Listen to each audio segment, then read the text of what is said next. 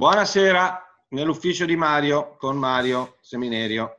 Buonasera, buongiorno, buon tutto. Allora, ecco, noi con Mario abbiamo un paio di argomenti, forse tre, che eh, ci siamo, ci, di cui volevamo parlare, uno di quali è la continuazione della serie Netflix Banca Popolare di Bari, perché avevamo fatto un video all'uopo un po' di qualche settimana fa e oggi eh, cioè negli ultimi due giorni ci sono usciti un paio di articoli di giornale e sono stati soprattutto arrestati eh, diciamo tre persone agli arresti domiciliari, tre persone, eh, i due padre e figlio Jacobini eh, il, e anche il, diciamo, il responsabile di bilancio della banca perché il procuratore, il GIP, teme che possano reiterare il reato eh, ci sono varie fattispecie di reati, autoriciclaggio, inquinamento delle prove, eccetera, eccetera. Allora, la cosa che viene fuori dai giornali, no, cerchiamo, cerco di fare un recap, Mario, della, della, della sì, cosa, sì. che forse vale la pena. Certo. Allora, la, la, Banca Popolare di Bari, diciamo così, ehm, viene alle cronache perché?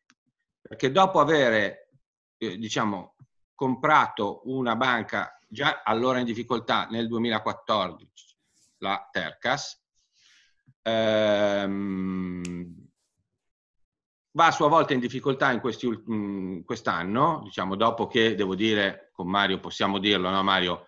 Era un bel po' di anni che si rumoreggiava di difficoltà della Banca Popolare di Bari, no? Quante volte ne avevamo già sentito parlare, parlato noi, eccetera, eccetera. Tu anche nel eh, tuo... Diciamo che l'incidenza dei, degli NPI era in aumento uh, e, e l'accantonamento, le rettifiche su crediti restavano comunque piuttosto contenute, ecco, diciamola in questi termini. Quindi, così, va. Poi c'era il problema della invendibilità delle azioni, che è ciò che ha reso la Bari famosa e l'ha fatta salire agli onori delle cronache, cioè avere 70.000 azionisti incastrati, incapaci di liberarsi e di monetizzare le azioni. Ecco, diciamo che tanto per dare un'idea del, di cosa stiamo parlando, stiamo parlando di una banca che ha circa 8 miliardi di attivi, che ha perso già oggi più di un miliardo e ancora tra capitale, bond, eccetera, eccetera, tra capitali persi nel passato e ancora non abbiamo il conto finale, che il conto finale arriverà probabilmente con la review finale che si dovrà fare prima che il fondo interbancario per la tutela dei depositi e, e, e, e il medio credito centrale, diciamo così, perché quello è il soggetto che dovrebbe depu- è deputato a entrare eh, nella Bari, eh, diciamo, formino questa nuova merchant bank, investment bank, eh, super bank del sud che farà eh, diciamo, sorgere il sol dell'avvenire da Porta Genova in giù. La fiera del Levante, diciamo. ecco, esatto. Allora, la cosa che esce in questi giorni e che secondo me è importante è che Gianluca Paolucci della stampa scrive che eh, il, il GIP eh, riporta nella sua ordinanza che Salvatore Rossi di Banca Italia in data novembre 2017 dice la, eh, l'intervento della Bari era stato ne- reso necessario dal fatto che Tercas aveva ricevuto un finanziamento da Banca d'Italia e non sarebbe più stato in grado di rimborsarlo. Quindi se la Bari non avesse comprato Tercas e si fosse sostituita nel finanziamento che Tercas aveva con Banca d'Italia, la Tercas sarebbe saltata in aria. Quindi questa è l'ipotesi Diciamo Salvatore Rossi è l'ex direttore generale della Banca d'Italia, per precisare. Questa sarebbe l'ipotesi quindi di conflitto di interesse della Banca d'Italia nella vicenda? Esatto, diciamo così, perché la Banca d'Italia, eh, diciamo, cerco di riassumere con le date cosa succede, ok? Allora, così siamo precisi perché qua poi se no volano. Allora, Tercas riceve a luglio del 2013 un finanziamento ELA, cioè Emergency Liquidity Assistance da Banca d'Italia, perché proprio in quei mesi sta scadendo un prestito obbligazio, scusate, dei certificati di deposito per 130 milioni che la Tercas non era in grado di ripagare. Banca d'Italia eroga a che ne so io circa 550 milioni a Tercas che a fronte del finanziamento di Banca d'Italia stanzia dei bonds che sono dei bonds con garanzia dello Stato che Tercas stampa overnight praticamente e con il costo di 100 basis point eh, stampa una garanzia del tesoro, pagando al tesoro 100 basis point, bond che sono stati proibiti nel 2016 a meno che non si abbia un'autorizzazione all'emergency liquidity assistance dall'ECB perché si è già presentato un piano di ristrutturazione. Quindi stampa dei bond che non si possono più fare, li vende alla banca Seminario Co che glieli paga e a sua volta può andare in ECB a rifinanziarli perché hanno la garanzia del tesoro. Quindi Banca Italia si garantisce così con Tercas, con questi bond stampati overnight. Però all'epoca era legittimo? All'epoca era legittimo, sono stati proibiti. Precisiamo a sto punto. Sì, li ha fatti anche Montepaschi e altre banche. Perfetto, perfetto. Allora, il 5 novembre, prima dell'acquisizione di Tercas, la Banca Popolare di Bari subentra nella garanzia di Tercas in Banca d'Italia per 480 milioni, che era l'ammontare del prestito esistente a novembre. Ok, subentra, evidentemente subentra perché ci sono già trattative di Banca Popolare di Bari con la Banca d'Italia per comprare, ehm, per comprare eh, eh, la Tercas, questo a novembre 2013. A luglio 2014 Banca d'Italia, dopo svariate ispezioni, eh, diciamo così, solleva la Banca d'Italia, la Banca Popolare di Bari da un ban alle acquisizioni, cioè Banca d'Italia aveva dal 2011 detto alla Bari tu non puoi comprare niente perché non hai condizioni di capitale. Non puoi più fare crescita esterna. esterna. Proprio a luglio 2014 Banca d'Italia autorizza eh, Bari a comprare Banca Tercas che deve rimborsare non solo la eh, l'operazione di finanziamento che Tercas ha acceso per Banca d'Italia, ma anche un contributo di 330 milioni che riceve Banca Popolare di Bari dal fondo interbancario per comprare la Tercas. Perché insieme alla Tercas Banca d'Italia eh, decide che Banca Popolare di Bari debba ricevere eh, 330 milioni dal fondo interbancario di tutela dei depositi nel 2014 Banca Popolare di Bari cosa fa per rimborsare questo 330 milioni? Emette 260 milioni di subordinati.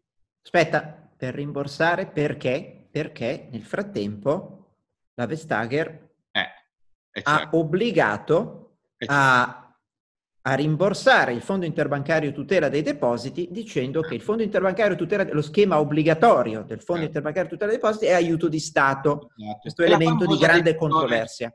Fa- bravo Mario, hai ragione. È la famosa decisione contro i quali i nostri orgoglioni banchieri si scaricano. Hanno appellato eh, e hanno vinto. Adesso si attende il giudizio della Corte europea di giustizia. Non che se non fosse aiuto di Stato non glielo doveva rimborsare, eh? ma glielo deve rimborsare in quel momento. Cioè perché... Ok, ok perché adesso non è che i contributi al FIT non vanno rimborsati, vanno rimborsati. No, esatto, anche perché non è che il fondo interbancario è la cornucopia che stampa denaro. Ecco.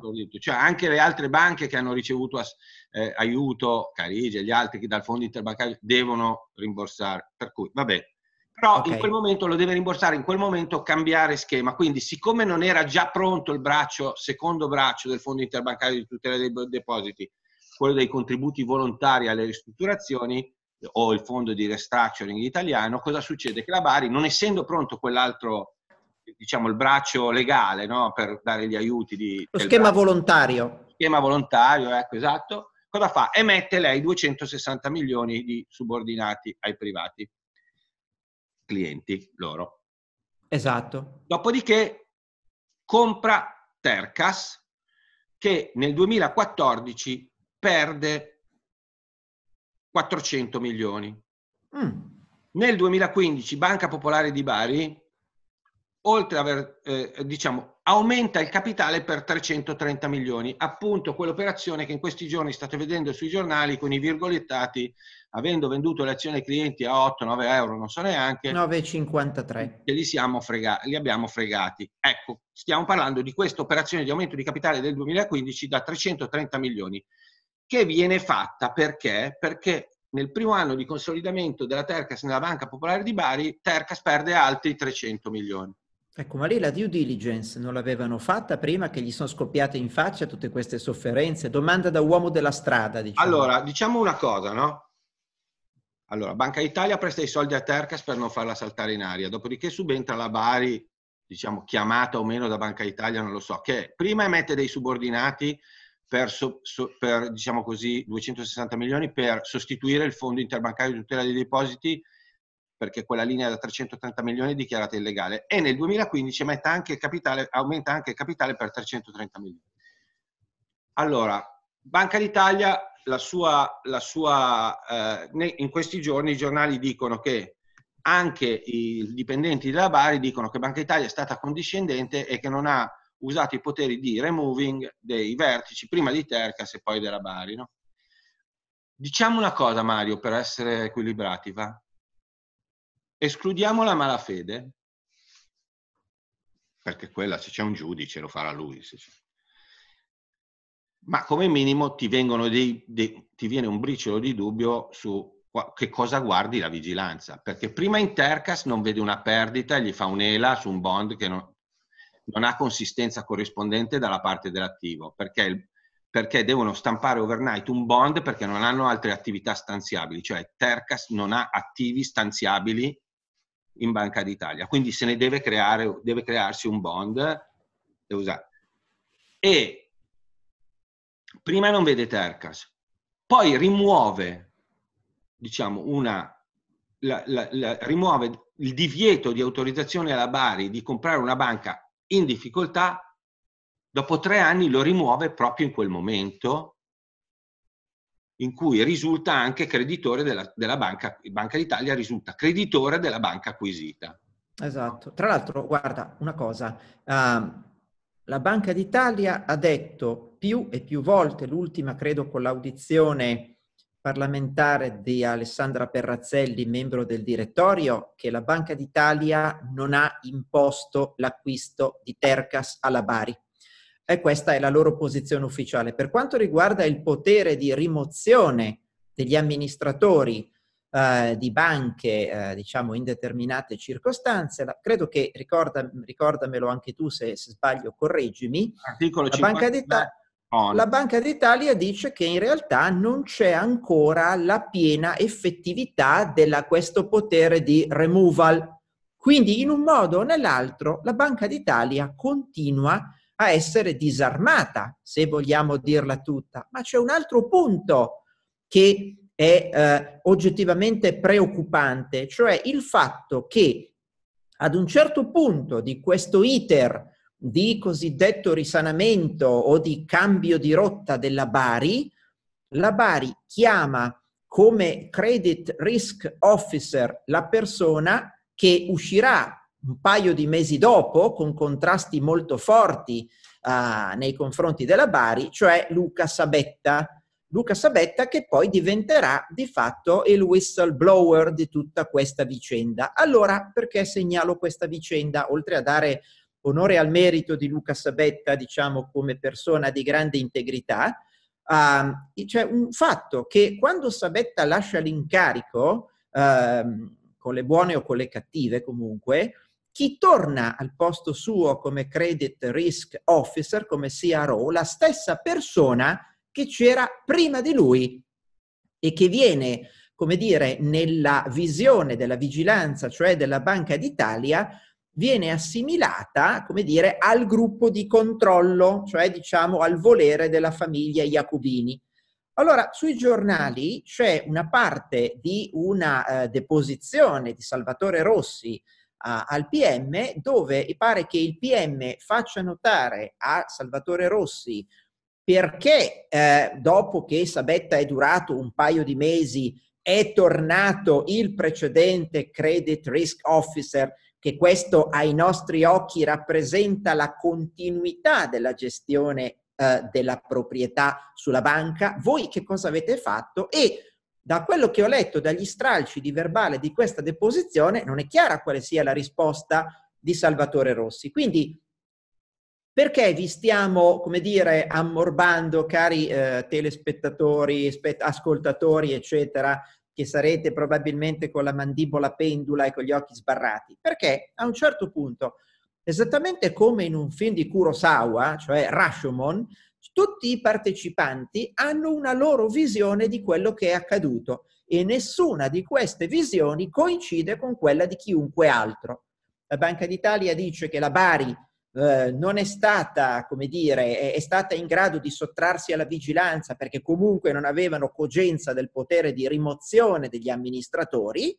Um, la Banca d'Italia dice che la, l'acquisto di Tercas non è stato imposto, i verbali e quanto sta emergendo dalle carte giudiziarie paiono indicare una cosa diversa. Quindi la vicenda resta open, um, vedremo come andrà a finire, però è chiaro che politicamente, mentre noi la stiamo affrontando analiticamente, è chiaro che la politica la affronta tagliando la grossa, nel senso dicendo ecco questa la Banca d'Italia fa fallire le banche, rimuoviamoli tutti, mettiamo, non lo so io, Paragone al posto di Visco, no, per dire queste cose su Paragone no, perché mi pare lievemente azzoppato, ma il concetto è quello. Però bisogna fare molta attenzione a buttare via il bambino con l'acqua sporca, bisogna fare attenzione al fatto che Banca d'Italia deve spiegarci una volta per tutte cosa poteva e cosa non poteva fare. Allora, io dico una cosa se posso. Prima di tutto, proprio dalla nota di Banca d'Italia sulla vicenda, perché Banca d'Italia ha pubblicato una nota eh, il 17 dicembre, c'è un sì. passaggio dove Banca d'Italia dice nel 2014, a luglio 2014, la Banca d'Italia autorizza la Banca Popolare di Bari ad acquisire il controllo di Banca Tercas. Allora, facciamo finta che non puoi rimuovere la, l'amministratore, Faccio, che non è vero. Articolo 53, testo unico bancario on e seguenti. Ma non è vero, ma fa niente. Facciamo finta che non lo puoi rimuovere, però l'hai autorizzata Banca Popolare di Bari tu l'hai autorizzata rimuovendo il tuo divieto di acquisizione. Allora, quello che ti dico è, l'hai autorizzata dopo immagino che tu abbia fatto una due diligence. Esatto, verificando che, che la Banca Popolare di Bari avesse i requisiti per comprare una banca scassata perché gli hai prestato tu 500 milioni a Tercas. Che stava per diventare radioattiva con l'emersione esatto. degli NPL, Quindi, tra l'altro. Tu hai verificato l'adeguatezza dei cosiddetti requisiti patrimoniali della Bari che si compra la Tercas, giusto? Allora, prima non hai visto la Tercas, poi la Bari fallisce, non hai visto anche la Bari, mi domando che cosa guardi dentro esatto. i suoi poteri, la vigilanza. Chiaro. Ora, quando tu dici non bisogna buttare via la, eh, l'acqua sporca col bambino. Il bambino con l'acqua sporca. Ecco, io ti dico che hai ragione, però ti dico anche che le istituzioni le difendi difendendo il prestigio e l'onore, rimuovendo le persone che non ne sono, capa- non sono capaci di lavorare perché se no difendi le persone invece che le istituzioni. Allora l'istituzione è la prima che si deve pulire se vuole che la gente abbia rispetto. Ma il problema è che qua sembrano eh? essere tutti coinvolti, quindi non è che tu dici c'è un singolo soggetto di Banca Italia che ha sbagliato, e questo è il problema. Io sono d'accordo con te, ma se andiamo in profondità buttiamo giù l'istituzione. Io non lo voglio dire quello perché conosco tanta gente lì che è capace di lavorare molto bene. Okay? Ah, non, non metto in dubbio. Però quello che dico è che queste cose vanno chiarite in fondo, cioè il, deve essere come la moglie di Cesare, un po', no? Cioè, se si vuole che venga rispettata e che i politici non possano permettersi di attaccarla come, lo, come hanno fatto e come faranno, essa stessa, è proprio l'istituzione stessa che si deve difendere ripulendosi dalle persone che non sono capaci di fare quel lavoro. Okay? Questo volevo dire. Perché questa, questo refrain per cui ah no, non si può toccare Banca d'Italia? No, Banca d'Italia non la puoi toccare, ma gli incapaci che la popolano sì. Perché qui come minimo c'è dell'incapacità. Non hanno visto, non han visto una serie di cose che, di cui si parlava sui giornali da anni, ok? Cioè non è che fossero cose venute da Marte. Per cui se, se la sequenza degli eventi è quella, inoltre c'è tutto un tema regolatorio di cui si discute da tanto tempo, di quando colui che è garante della stabilità e fa un prestito a una banca debba essere la stessa istituzione che giudica se fare quel prestito, perché capisci che sei garante della stabilità da una parte, quindi non vuoi che salti per aria nessuno, ma dall'altra parte sei in conflitto di interesse quando succedono queste cose qua. Per cui c'è un discorso tra accademici, banche centrali, eccetera, eccetera, sul fatto che certi ruoli a volte non sono compatibili per, dentro una stessa istituzione. Questo non riguarda solo la Banca d'Italia, eh? riguarda anche l'ICB quando fa la ELA alla Grecia e poi giudica se un programma della Grecia sia sostenibile o no. no? Quando è nella Troica l'ICB, che intanto gli ha già prestato i soldi a uno Stato, come si fa a dire che non è in conflitto di interesse nel, nel fare il void di un piano, di, di, di un piano economico di quel paese? Cioè è un discorso più ampio che non riguarda queste misere vicende purtroppo, ma che è un problema di assetto istituzionale che si discute, diciamo così, perché non c'è una soluzione facile. Certo. Ecco, io volevo solo fare questo punto sulla Bari perché ne avevamo parlato, Mario, e secondo me le cose che sono uscite in questi giorni da Gianluca e penso anche al, sul fatto quotidiano oggi, forse, sì. eh, sono cose meritevoli di una discussione perché ci sono troppi concaten- eh, troppi fatti concatenati che ti fanno pensare proprio male, no? Cioè, sì, qui sì. in pratica Banca Popolare di Bari ha trasferito un rischio che era di Banca Italia sui suoi, su, sui suoi azionisti e, e, possessori di bond subordinati. Questa è l'ipotesi per come ci è stata sin qui descritta anche con le carte, diciamo, della magistratura. In effetti tu hai sintetizzato esattamente quello che potrebbe essere accaduto. Ecco. Va bene, detto questo, sì. la seconda cosa che ti volevo chiedere, perché so che sei attento osservatore, era un, un, commento tuo personale sull'anno bellissimo che si è chiuso col quarto quarter del, del quarto quarto del PIL italiano che ha fatto meno, meno 0,3 sul quarto precedente, sul trimestre precedente e 0 sull'anno precedente, chiudendo il 2019 a uno 0,2 provvisorio perché dobbiamo aspettare la, la release finale a marzo. Chiaro e dove non ci hanno dato il breakdown come fanno in altri paesi civili, no? eh, in, Francia. Sì, sì, sì. No, questa cosa che mi sta molto... Allora, per quanto riguarda l'anno bellissimo, noi restiamo fanalino di coda.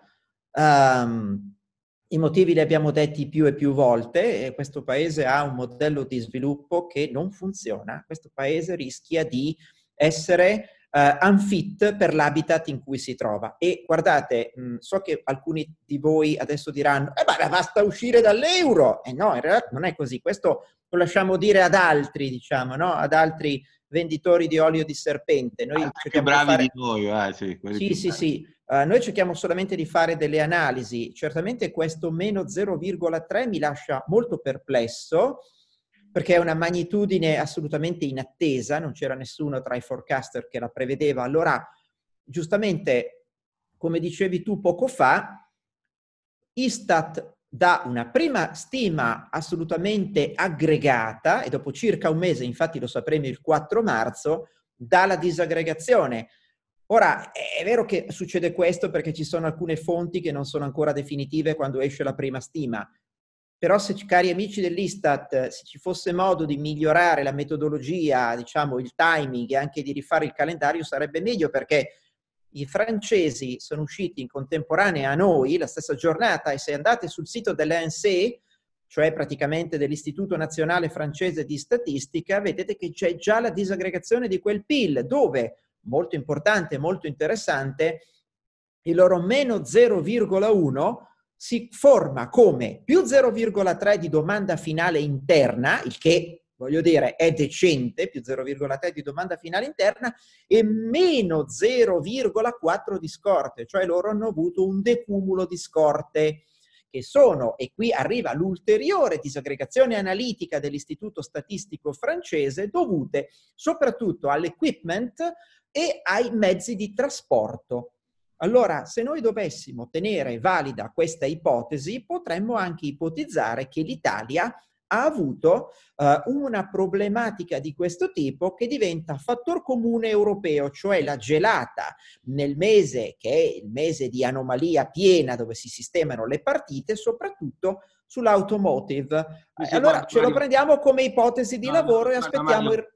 Se posso, no? Sì. Allora, eh, Banca d'Italia, buonanotte, l'Istat, Istat. dice che eh, l'Italia ha avuto quel meno 0,3 e il contributo netto dell'estero è stato positivo, quindi la Nenia ha rallentato la Germania questo trimestre non vale, nel senso che il contributo eh, è positivo. Aspetta, aspetta, aspetta, aspetta, tu sai che il contributo dell'export netto è una derivata seconda, cioè è la variazione dell'export meno la variazione dell'import. Per cui se il nostro export fosse diminuito ma meno della diminuzione dell'import, paradossalmente, ma non troppo, noi avremmo un contributo positivo dell'export certo, certo, netto. E, e dice che e probabilmente e si capisce che anche noi abbiamo sicuramente avuto un decumulo di scorte che ha influito negativamente sul PIL. Esatto. Come ce l'ha avuto gli Stati Uniti, peraltro, anche. Cioè, è stato, diciamo, una cosa, secondo me, eh, abbastanza mondiale, che secondo me deriva dal fatto che si rumoreggiava già da un po' che Trump avrebbe tagliato i dazi sui cinesi. Quindi cosa ha fatto la gente? Ha aspettato a comprare che i dazi venissero levati, no? Secondo me. Essere, quello potrebbe essere una spiegazione, no? Cioè tu decumuli tutto quello che hai, non compri niente perché sai che a un certo punto nel quarto quadrimestre i dazi, una parte dei dazi vanno via.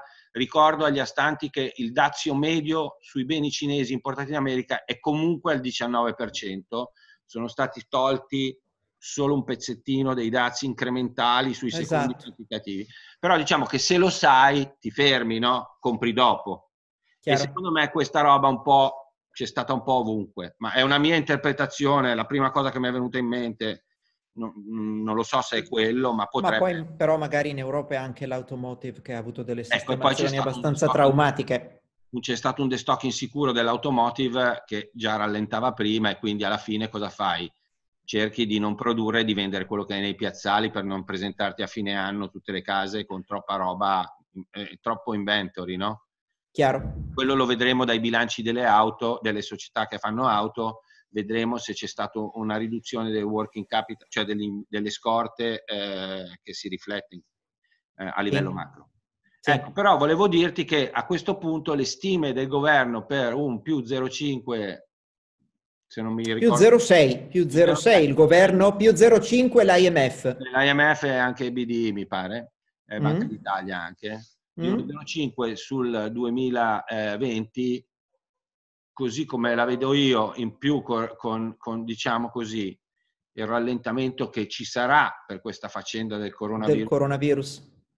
Eh, adesso non sappiamo stimare l'impatto né quanto dura, ma di sicuro beh, Standard Poor's dice che la Cina perde un punto e due di PIL, che è un conto abbastanza facile da fare perché se la Cina doveva crescere intorno al 6 vuol dire fare un, un punto e mezzo a quarter, circa, eh, sto andando a span, e se perdi un quarter perdi un 1,5. Cioè, Infatti che... già si dice tra piagnisteo e verosimiglianza che l'Italia potrebbe essere tra i paesi più colpiti dal coronavirus per l'imponenza dei flussi turistici cinesi. Ecco, già sì. c'è Federalberghi che piange a dirotto, come avrai notato, per mm. cui vediamo guarda, quanto io, di vero. Guarda, io devo dire che sono stato molto attento perché stiamo cercando anche come società di capire cosa si vede. Allora, posso dire per chi ci guarda due cose.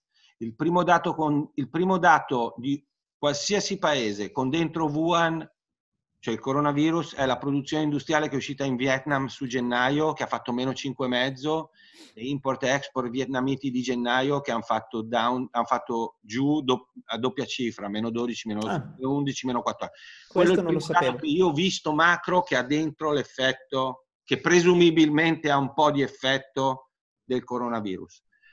Nelle conference call che abbiamo ascoltato sul uh, quarto Q di tutte le società che hanno riportato in America e in, eh, in Europa quello che abbiamo sentito è Apple molto reticente, ha solo allargato il range, molto reticente, quasi una roba ridicola, eh, molto reticente perché vi dico io che allora lunedì scorso il mercato inizia, lunedì notte esce una notizia che Apple ha aumentato gli ordini ai fornitori del 10%.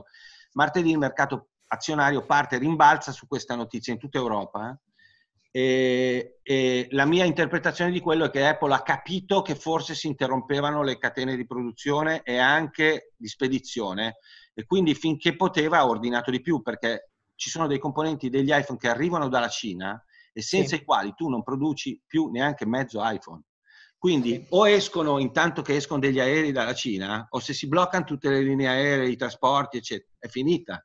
Cioè, Chiaro. non produci più gli iPhone. tenete presente che gli iPhone fanno 59 miliardi di fatturato all'ultimo quarter, se non sbaglio.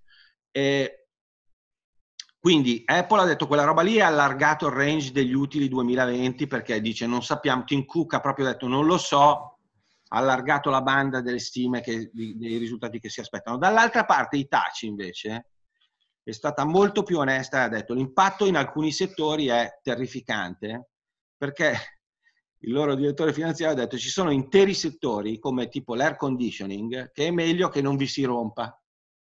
Perché la macchina del condizionamento perché la fanno tutti in, tutti in Cina. Cioè ci sono interi settori produttivi che sono fatti in Cina. La, gli altri che sono stati molto onesti sono i produttori di semiconduttori tipo Xilinx e altri che hanno detto che per loro è una catastrofe perché ovviamente eh, se si ferma per più di dieci giorni ci sono problemi quindi su questo la verità è che io ho provato a analizzare l'impatto, ma non si può dire niente di sensato. No, esatto, esatto. Cioè, esatto. È veramente troppo difficile, non lo sanno neanche loro, eh, e, e le aziende. Anche perché non si sa se la Cina si ferma fino al 10 febbraio, poi riparte normale, oppure eh, non sappiamo niente. Se Quindi... dovessimo guardare i dati, ammesso che siano veri, che i cinesi danno alla fine di ogni giornata, si nota che eh, vabbè, la progressione del contagio eh, comunque produce mortalità con un'incidenza decrescente. Sì, no, guarda lì poi faremo un panel anche all'evento del 15 e 16 febbraio su questo, mm? però la cosa che sentivo avendo parlato con un po' di virologi anche in America e così è che loro hanno un capacity constraint sulle misurazioni, cioè riescono cioè quello che vediamo i numeri 12.000, 9.000, 10.000 sono i numeri che sono molto legati alla capacità di testare i malati. Cioè okay. in questo momento negli ospedali sono un po' over, cioè, overworked. Sovraffollati. E, sì, sì. e quindi non hanno una capacità di testare i malati che non sono già molto malati, per cui la mortalità che si vede è anche frutto del fatto che si testano dei malati con chiarissimi sintomi, no? polmonite, eccetera, eccetera. Quindi Chiaro. effettivamente la mortalità potrebbe essere molto bassa, il problema è che quello va incrociata con i contagiati, nel senso che anche la mortalità della spagnola era bassissima, però l'hanno presa in un miliardo e mezzo di persone, poi è stato un dramma, no? per cui nel 1919. Per sì, cui sì. diciamo che quello è veramente un casino. Io ho fatto 100 tweet dicendo a tutti, anche Ray Dalio si è messo a tirare curve. Il problema è che il sample di dati che abbiamo è completamente biased dal fatto che a un certo punto a Wuhan una settimana fa hanno finito i kit. Poi sono arrivati i kit, ma gli ospedali sono quelli che sono, infatti ne hanno costruiti due al volo e stanno mandando 6.000 medici dell'esercito perché non riescono a misurare bene le cose e il la prima cosa che devi fare in una roba del genere è il containment dei, degli infettati e quindi devi sapere quanti sono, dove sono. Chiaro. No? Quello Chiaro. è il problema. Per cui quella roba lì è veramente un casino, Mario. Almeno per noi è difficilissimo stimarla. C'è da dire che sembrerebbe che, insomma, la mortalità, come dici tu, in generale è bassa. Il problema è di vedere quanto va avanti. Vedere, sta... no, soprattutto se è limitata a soggetti eh, magari anziani con condizioni preesistenti. Ecco, sì, anche su quello, sai, i dati, sai Mario, sono un po' scarsi dalla Cina. Adesso lo dico, ma non credo che siano in malafede loro, eh, come dicono certi adesso che ce l'hanno a morte. Cioè loro sono stati in malafede nel, all'inizio nel cercare di tacitare le cose quando eh, il primo medico a dicembre ha detto che c'erano dei casi di SARS, no? Perché loro l'hanno visto SARS Chiaro. Però adesso io penso stiano facendo uno sforzo imponente, onestamente, no? Cioè non è che gli si può dire più di tanto. Il problema Chiaro. è che queste robe sono un casino, perché se tu perdi un giorno, non hai perso un giorno normale, è esponenziale sta cosa, quindi, capito? È logaritmica Chiaro. la scala, per cui non lo Vabbè. so, vedremo. Però vedremo. l'anno bellissimo corre il rischio di non essere nemmeno il 2020, mi pare di capire. No? No, infatti, ma adesso vedremo la riforma dell'IRPEF che loro signori vogliono creare eh, con, precostituendosi delle munizioni attraverso aumenti selettivi dell'IVA. Per cui abbiamo salvato il paese evitando l'aumento IVA e quindi adesso possiamo serenamente aumentare l'IVA in attesa eh, che arrivino gli infermieri a portarci via. Te lo volevo chiedere, no? Perché oggi c'era un'intervista di Gualtieri dove dice ah bello, la prima cosa che abbiamo fatto è, eh, diciamo così, eh, disattivare gli aumenti IVA, no? Ma non ci eh, come, come, come tutti, Ma non ci sono altri 20 miliardi di clausole di salvaguardia? 21, tra accise e IVA sul 2021, eh. esatto. Sì, sì, sì, sì, va bene. Non mi ricordo Avremo male io... Sì, sì, ma infatti, ma tutti i piccoli artificieri tricolori ogni anno disattivano, disinnescano qualcosa, ecco. Sì. No, perché mi sembra quando leggevo questa cosa di Gualtieri che diceva no, ma il merito di questo governo è aver disattivato, eh, ma c'è anche quell'anno che viene, per cui non sì, è... Sì, ma se consideri, se consideri che Zingaretti, eh, povera anima, va in giro a dire che abbiamo evitato la bancarotta, testuale, hai la misura di cosa sente certa gente, ecco, vabbè. Vabbè, comunque. Avremo vabbè. modo di parlarne. Vabbè, caro Mario, niente, ci vediamo domenica. Bani, benissimo, grazie. Ciao.